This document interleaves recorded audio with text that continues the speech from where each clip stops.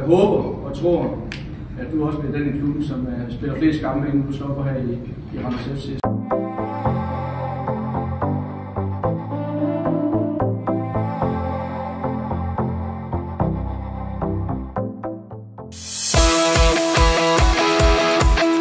Kommer duk på græstæppet. Ej, er det fint lavet. fortsætter og Øbels afslutning! Kom her, Lawrence Thomas. Oha! Det går i mål. Den går direkte i mål her. Erik Marksen. Erik Marksen, det er noget af en milepæl, har rundet her. 200 kampe for Randers FC.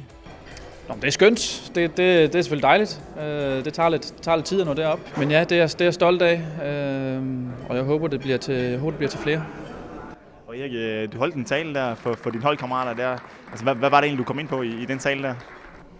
Nå, men jeg sagde bare øh, tak for en, en god tid, og, og tak for, at den tid, vi har nu, nok er den bedste, jeg overhovedet har haft. Øh, og lad os, lad os fortsætte med det. Og så håber jeg, at det bliver, det bliver en mindst så stor fornøjelse, som det har været. Det, det håber jeg, det bliver fremadrettet også. Og det, det ser i hvert fald øh, det ser godt ud lige for tiden, vil, vil jeg sige, i forhold til at få det opfyldt. Så det tror jeg på. Hvordan kan det egentlig være, at det, er- det måske er den bedste tid, du har haft øh, som fodboldspiller lige nu?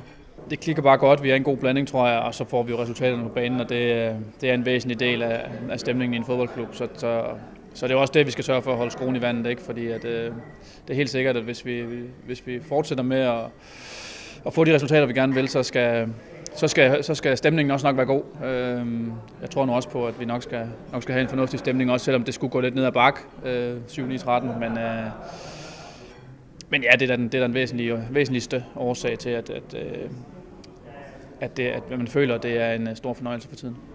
Og Erik, 200 kampe, der, der er jo masser af højdepunkter at tage, kan jeg forestille mig. Men altså, hvis du alligevel skulle udvælge et højdepunkt af alle de kampe, du spillede for Randers FC, øh, hvilket vil du så vælge?